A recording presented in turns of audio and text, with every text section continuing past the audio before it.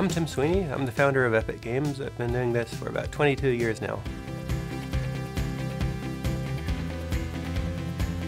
I began writing the Unreal Engine back in 1995. Um, much simpler days then. I wrote about 80% of the first generation code myself. And for the first three generations of Unreal, we've given our tools out to the community, starting with supporting mod makers for Unreal Tournament. And we've also licensed our engine to uh, some of the top companies in the game industry.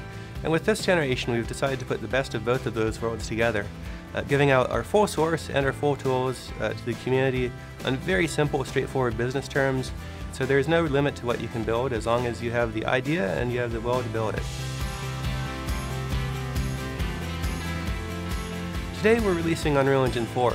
Not just some version of Unreal Engine 4, but the entire thing, both the tools and the entire source code in C++.